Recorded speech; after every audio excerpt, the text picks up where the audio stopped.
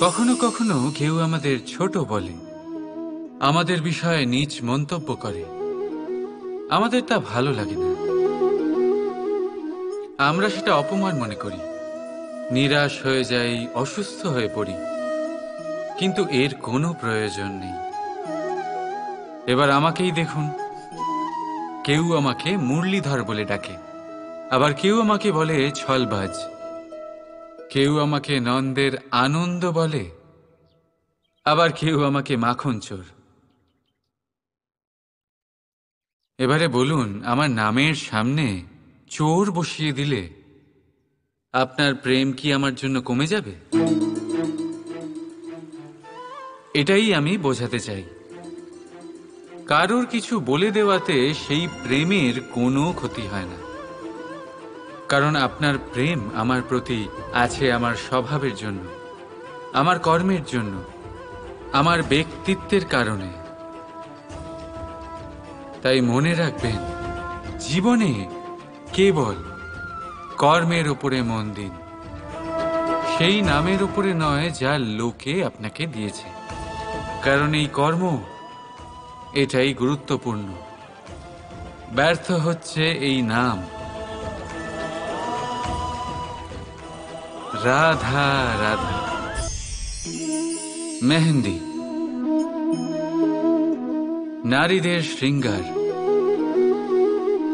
যার হাতে লেগে যায়, তাকে নিজের রঙে রাঙিয়ে তোলে। আমাদের এখানে পরম্পরা আছে যে বিবাহতে অন্য অনেক অনুষ্ঠানে এই মেহেন্দি এমনই এক পাত্রে রাখা হয়।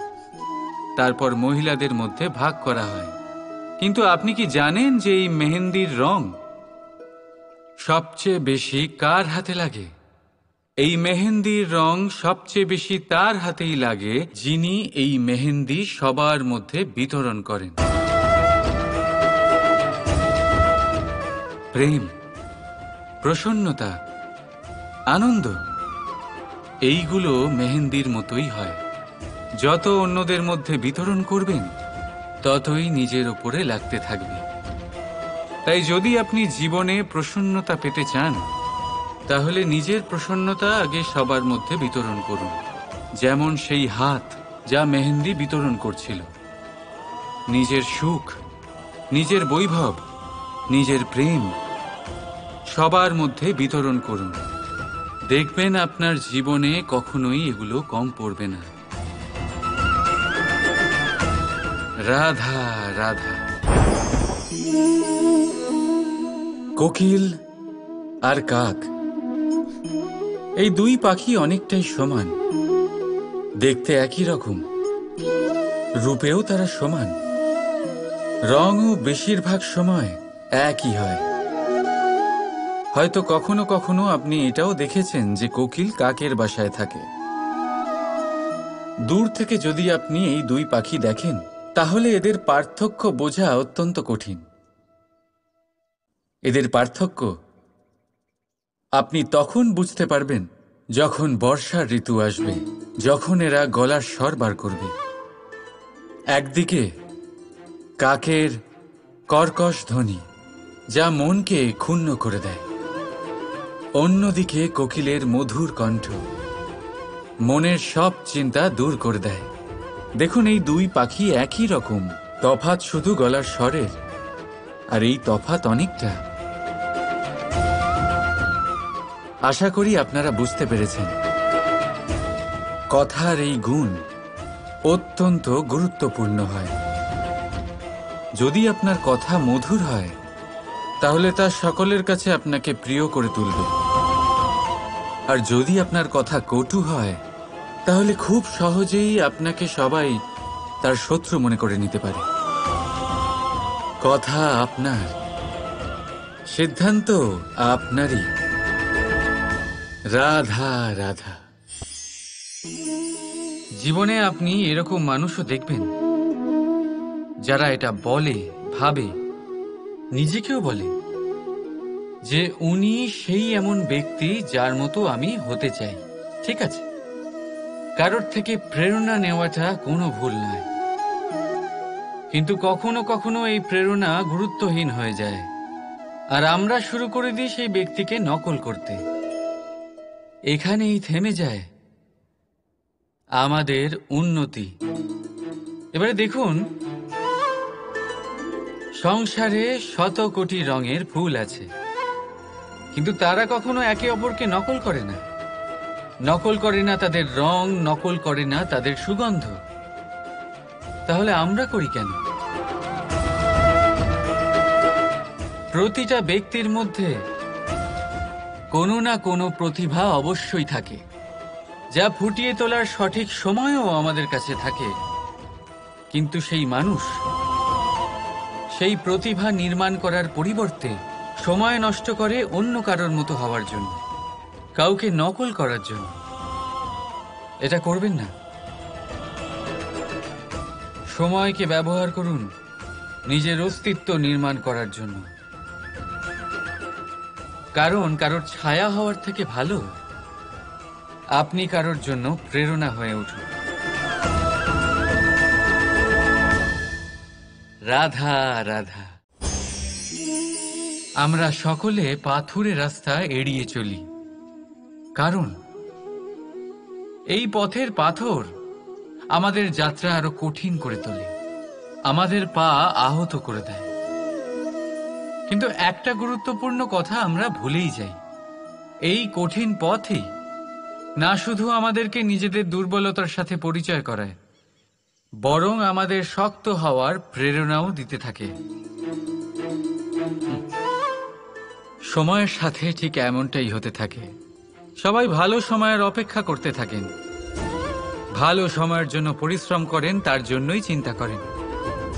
কিন্তু ভুলে যান যে ভালো সময় বহুবার আমাদের বিবেক নষ্ট করে দেয়। সেখানেই খারাপ সময় আমাদের বুদ্ধিকে সঠিক পথে চালিত করে। রাধা রাধা। আমি একটা এমন শব্দ যার অনেকগুলি মানে হয়, যার আসল অর্থ হল অহং। যদি আপনি কথা বলেন সৃষ্টির নির্মাণ নিয়ে, তাহলে আমি, ব্রহ্মদেব হয়ে সৃষ্টির নির্মাণ করবে। যদি আপনি কথা বলেন প্রলয়ের, তাহলে সেই আমি, মহাদেব হয়ে বিনাশ করবে। এই আমি সঙ্গতিপূর্ণ। কিন্তু শুধু ততক্ষণ, যতক্ষণ আপনি এটা সবার সাথে ভাগ করছেন। কিন্তু আমরা বহুবার এর মানে বুঝতে পারি না। এই অহমকে সীমিত করে দিই একটা ব্যক্তি অবধি। শুধু নিজে। আর তখনই জেগে ওঠে অহংকার, যাতে প্রাধান্য পায় শুধুমাত্র আমি, আমরা নয়। আর একজন ব্যক্তি একা না উৎপাদন করতে পারে আর না করতে পারে সৃজন। এবারে দেখুন, বৃষ্টির এক ফোঁটা তারও অস্তিত্ব আছে, কিন্তু তা ধরিত্রীতে পড়লেই সমাপ্ত হয়ে যায়। কিন্তু যখন ফোঁটাগুলি একসাথে পড়ে তখন শুরু হয় বর্ষা, আর তখনই তৈরি হয় ধারা। রাধা রাধা। আপনি অনেককে এই কথা নিশ্চয়ই বলতে শুনেছেন। এই ব্যক্তির দৃষ্টিতে দম্ভ আছে। এই ব্যক্তির চোখের ওপর অহংকারের পর্দা পড়ে আছে। ইত্যাদি ইত্যাদি। চলুন, আমি আপনাকে একটা প্রশ্ন করছি। আপনি দেখেন কি দিয়ে? দৃষ্টি দিয়ে? নাকি দৃষ্টিভঙ্গির সাহায্যে? ভাবুন। চিন্তায় পড়ে গেলেন নিশ্চয়ই? দৃষ্টি যে কোনো বস্তুর বা যে কোনো মানুষের শুধু বাইরের রূপটা দেখায়, যেখানে দৃষ্টিভঙ্গি আপনাকে সোজা আসল পরিচয়ের সাথে সাক্ষাৎ করায়। উদাহরণ হিসেবে, চন্দ্র। চন্দ্র আমরা সবাই দেখেছি। বহু মানুষ আছেন যাদের চন্দ্র অত্যন্ত সুন্দর লাগে। আবার কিছু মানুষ এমনও আছেন যারা এই চন্দ্রের মধ্যেই দাগ খুঁজে বার করেন। এই হলো দৃষ্টিভঙ্গি। যদি নিজের দৃষ্টিভঙ্গিতে প্রেম রাখেন, ভালোবাসা রাখেন, সম্ভ্রম রাখেন, তাহলে তার বদলে আপনিও প্রেম আর সম্মান অবশ্যই পাবেন। এবারে দেখুন। যে জল দিয়ে ঈশ্বরের মূর্তি ধোয়া হয়, তাকে চরণামৃত বলা হয়। এটার কারণ দৃষ্টিভঙ্গি। এখন আপনি পাথরকে ভগবান ভেবে পুজো করবেন, নাকি ভগবানকে পাথর ভেবে পরিত্যাগ করবেন? সিদ্ধান্ত আপনার। কিন্তু এই সিদ্ধান্ত নির্ভর করে আপনার দৃষ্টিভঙ্গির ওপর। তাই নিজের দৃষ্টিভঙ্গি শুভ রাখুন। নিজের দৃষ্টিভঙ্গিতে ভালোবাসা রাখুন। আর আনন্দে বলুন, রাধা রাধা। সাফল্য। যদি আপনাকে জীবনে সাফল্য পেতে হয়, তাহলে আপনি একাধিক মানুষ পাবেন যারা একাধিক উপায় বলবে আপনাকে সাফল্য পাওয়ার। দীর্ঘ সময় ধরে পরিশ্রম, চেষ্টা, নির্ধারণ, নিষ্ঠা এই বিষয়ে ভাষণ দিতে থাকবেন। একাধিক রকমের উদাহরণ আপনার সামনে তুলে ধরবেন। কিন্তু আমার এটা মনে হয়, আমরা কেন সেই বিষয়ে কথা বলি না যা মানুষকে অসফল করে তোলে? শুধু দুটো ব্যাপার অসফল হওয়া নিশ্চিত করে। শুধু দুই ধরনের মানুষ বেশিরভাগ অসফল হন। প্রথম তারা, যারা ভাবে অনেক কিছু। কিন্তু কিছুই করে না। আর দ্বিতীয় তারা, যারা অনেক কিছু করতে থাকে, কিন্তু ভাবনা চিন্তা না করে। ভাবনা আর কর্ম এদের মাঝে সামঞ্জস্য রাখা খুব জরুরি। যদি এটা থাকে, তাহলে জীবনে কখনো অসফল হবেন না। রাধা রাধা। মানুষ। এই শব্দের সূচনা হয় মন থেকে। আর সেই জন্যই হয়তো আমাদের এই মন এতটা গুরুত্বপূর্ণ। এবারে দেখুন না, আমাদের মনই সবকিছু চালনা করে। মনই সেই যে কল্পনা করে। মনই সেই যা কল্পনাকে বাস্তবে পরিণত করার জন্য পরিশ্রম করতে আমাদের প্রেরণা যোগায়। মনই সেই যা লোভের জালে জড়িয়ে পড়ে। মনই সেই যা অভিমানের পর্দা দিয়ে ঢেকে যায়। আর এই মনই সেই যা আপনাকে বিনাশের দিকে টেনে নিয়ে যেতে পারে। কিন্তু যদি তা পরোপকার করার ইন্ধন পায় তাহলে এমন কোনো মহান কাজ নেই যা আপনি করতে পারবেন না। কিন্তু এই মন? এই মন কি? এটা বোঝানো যায় দুটো শব্দের মাধ্যমে। দুটো সহজ শব্দ। প্রথম, একজন কুশল সেবক।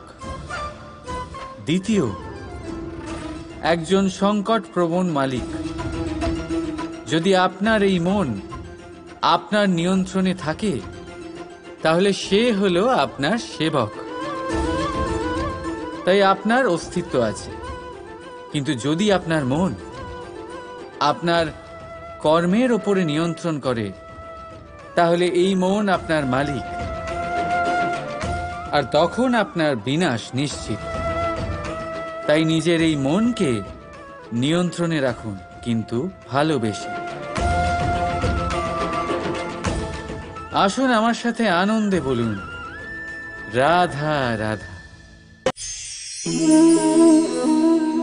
বিশ্বাস। জীবনে বিশ্বাস কতটা গুরুত্বপূর্ণ?